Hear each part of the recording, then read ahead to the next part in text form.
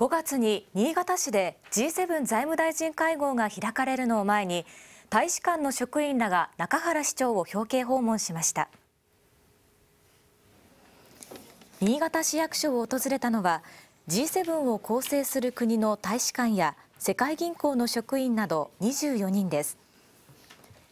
会議の開催を前に会場のときメッセや宿泊施設を視察しました。中原市長は万全の準備を進めると挨拶しました。今回の視察が有意義なものとなりさらに新潟の歴史や食文化を堪能していただけたら大変嬉しく思います。お土産に錦鯉をモチーフにした日本酒が贈られました。